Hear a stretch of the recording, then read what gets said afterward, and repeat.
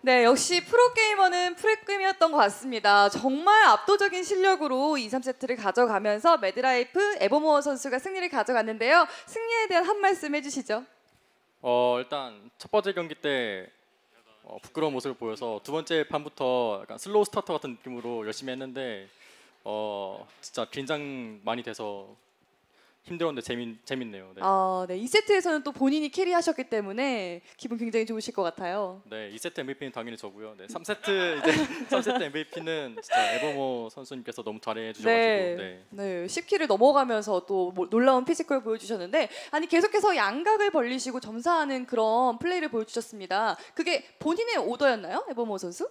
아니 원래 연습할 때 양각을 좀 많이 펼치면 유리한 게임인 것 같아가지고 음. 그렇게 전략을 짜고 네. 왔는데 괜찮았던 것 같아요. 아, 그 결과 압도적인 또 실력으로 어, 경기를 이기셨는데 자, 이 환상적인 플레이어와 경기를 펼쳤던 우리 홍대 VR 스퀘어의 직원분들 일단 고생 많으셨습니다. 여러분 일단 박수 한번 부탁드리겠습니다.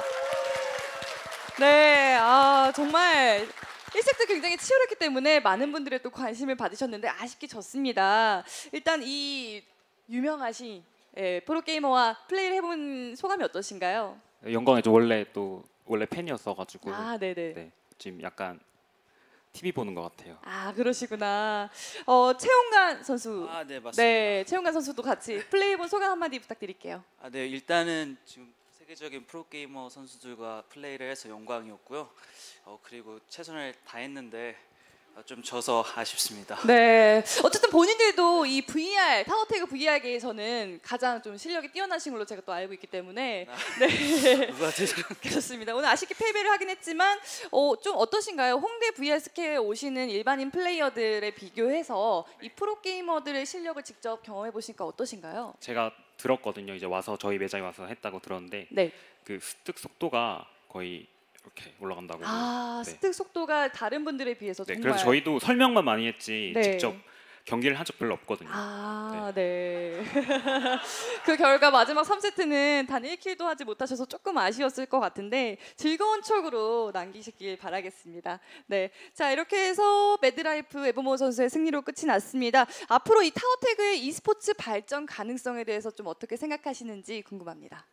네, 일단 연습할 때는 좀 가벼운 느낌으로 게임한다는 느낌으로 했었거든요. 근데 직접 여기서 해보니까 대회는 아니지만 대회 같은 느낌으로 하다 보니까 네.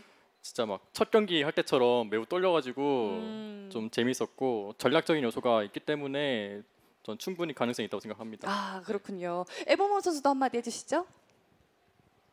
저도 설명하셨듯이 마찬가지입니다. 네. 그렇다면 오늘 전체적으로 함께 하신 이 VR e스포츠에 대한 소감 한마디 부탁드릴게요. 네, 에버모 선수 부탁드릴게요.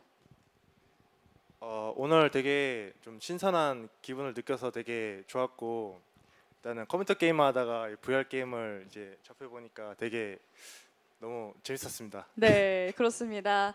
자, 이렇게 해서 타워텍에 힘써주신 우리 프로게이머들 그리고 우리 선수들에게 다시 한번 큰 박수 부탁드리겠습니다.